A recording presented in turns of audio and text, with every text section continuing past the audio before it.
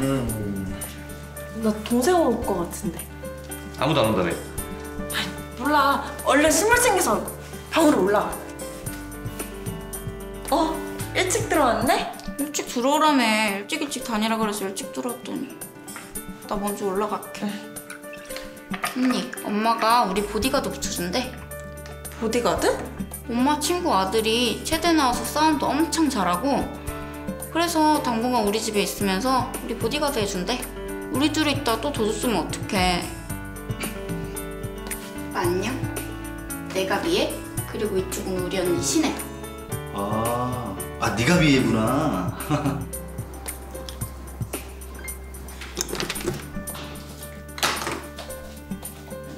오빠 나 무서워서 그런데 나 오늘 여기서 자면 안 돼?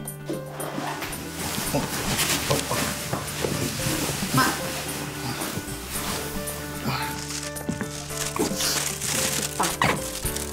나 원래 밤에 무서워서 잘 못 다니는데 오빠랑 같이 있으니까 하나도 안 무섭다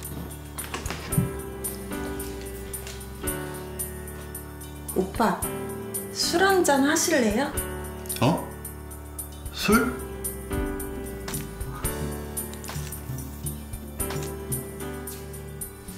오빠, 나 가져.